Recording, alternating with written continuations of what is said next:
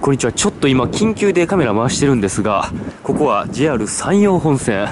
オレンジのライン、岡山県の笠岡という駅に来ています。まあ、僕ね、山陽新幹線に乗って普通にも関西方面向かおうと思ってたんですが、ちょっと急遽慌てて福山で降りましてね、この駅にやってきました。なんでかというとですね、タイトルにもあると思うんですが、僕、まだ見たことないんですがね、とんでもない見た目をした列車がね、もう少しでこの駅にやってくるということで、ちょっとこれは見ときたいなということでね、どんなものなのか目に焼き付けたいと思います。来た来た来た来た来た、おお奥の方から2両編成。青色そして黄色の帯を巻いているのが分かりますこちら明らかにお客さんが乗る列車ではないなんかそういうまた違ったオーラを醸し出しておりますがピカピカの車両が到着。いやこれすごいな。初めて見た。こちら DEC741型という列車です。これはねいわゆる検査車両。うわすげえ。うおなんだこの屋根は。見ましたかこれ。電気式の気動車ということでなんかディーゼルのねこのガタガタガタガタガタというこういう音が響いております。なんといっても特徴的なのはこちら。えー、どういうことこれ。これねすごいんですよね。あの検査車両ということでお客さんがね乗るということはできませんが電気検測と列車が安全に走るための検測っていうのを行います。総合検測車と呼ばれるものです。なんとこれすごいのは屋根についているカメラの数なんですが50個ということになっています、うん、僕んちの防犯カメラ用にね23個分けてほしいんですけど、まあ、そういうことはできないですよね。にしてもこれはすごいや。えー？JR 西日本が2021年のねこれ10月27日に導入を発表して11月から、まあ、試験運用がね開始されていてまだ本運用っていうかなそういうの始まっていません。4月からということでもうピカピカ。走り始めてから1ヶ月もまだ経っていないということで今回この駅にですね20分ほど停車するということでじっくり見ていきたいと思います。いや圧倒的なこれ外観だな。非常にね可愛らしい外観とは裏腹にものすごく高スペックな優等生列車ということになっています、まあ、検測車両ということでもともとあった検測車両があったんですがそれが老朽化に伴い新造されたということになっています。この河川とかそれから信号とかね列車が安全に走る上で線路とかもそうですがやっぱりこういうものっていうのは常に点検が必要で夜になりますとねサンライズとかに乗っていると保線作業をされる方とか、まあ、そういう車両っていうのもよく見かけて、まあ、そういう営業列車が終わってからのねたくさんの方々の力によってこの安全運行っていうのが支えられてとんでもない3分遅れでね謝罪してますからそんな国は日本だけなんですね。今回はこの上のね河川。ここを検測する装置に加えて電気設備ですね。さっきのめっちゃもうものすごい数のカメラがありましたがこれ何をするかというとですねもともと地上で人がこう見て検査していたところをもう列車でやっちゃおうと、まあ、そういうところでもうたくさんのカメラもういろんな角度からバシャバシャ撮ることによって膨大なデータを集めてそれをさらに AI でですね画像を解析して診断するとだからもし何か問題があった場合はそこに人がやっと行くというところで検測の車上化というのをモットーにですね作られましてだから電柱とか信号機とかですねそういうものをここから取るということになっています。また将来的には下ですね線路部分今はまだついていないんですが線路の方を計測できるような装置っていうのも後で付け加えられる予定でまさに総合計測車のその名にふさわしいそういう列車になっています。何より見た目のインパクトがすごいですよね。あの集合体恐怖症の方はちょっと見てられないかもしれませんが、まあ、裏返せばこの優れた技術をもってしてもねこの50台のカメラがいるわけですよ。だから人間ってすごいんだなって思いますよね。まあ、こういった AI 技術による解析を行うシステムっていうのが国内でね鉄道事業者で採用されるのは初めてとのことでこれはすごいです。さらにすごいのはこちらこれね多分ライトなんですよね。この側面部分カメラがあって分かりますか？ライトも同時についています。これは昼でも夜でも検測できるということです。そう。だから真っ暗なとこでも、うん、多分ここ光りますよね。強烈なライトで照らしながらまた同時にカメラで撮影すると。すごいなこれ。もうこれとこれなんか一緒のとこ撮ってるようにしか見えないんですがやっぱ違うんでしょうね。いろんな角度から撮ることでよりしっかりとしたデータが集まってくると。そういうことです。一つ一つ見てみるとこんな感じ。前方監視前方監視2前方監視3ここにはパンタグラフもあるんだな。こんな感じ。お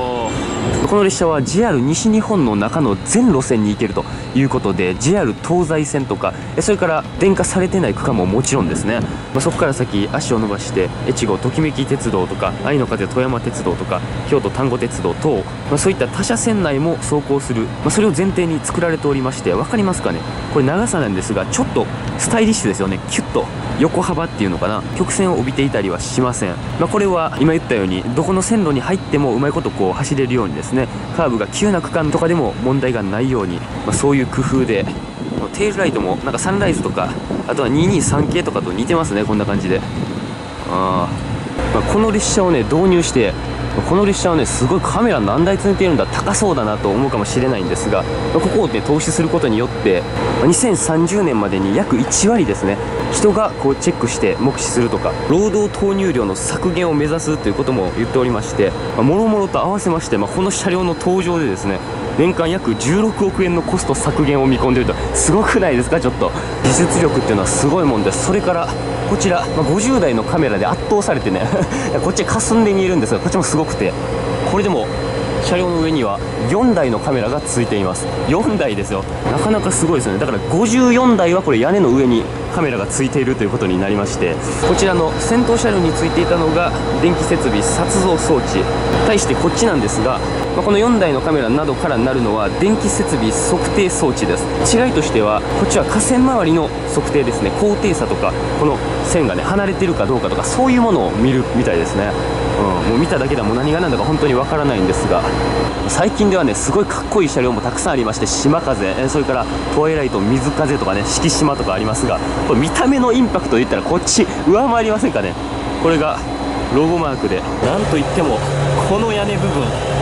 横から見ても分かりましたからこれはすごい。最高速度はなんと100キロということですごいですよね。これ検査しながら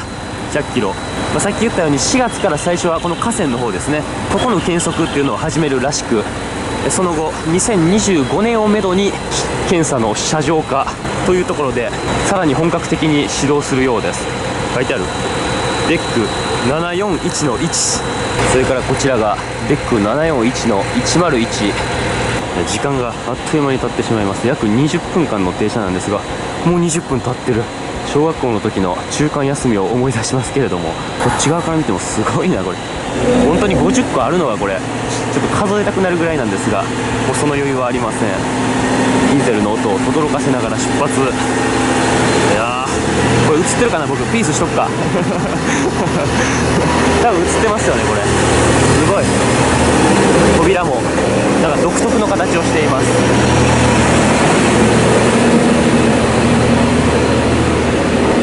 ゆっくりと出発。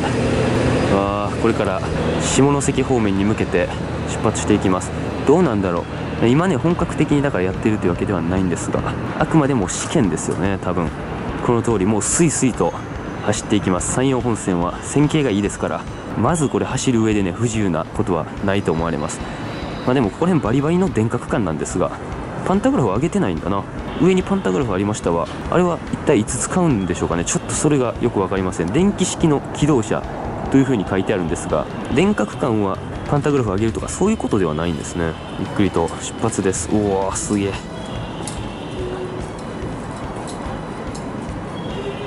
今ねちょっと調べてみたんですが確かにねあれ DEC741パンタグラフは搭載してたんですが、まあ、あくまでも検測用ということで、まあ、だから車両としてはこう電気でね上から電気を取り入れて走るという仕組みではないようです、まあ、検測用にね何かまデータを取るためにだと思うんですが、まあ、そのためのパンタグラフだったわけですね。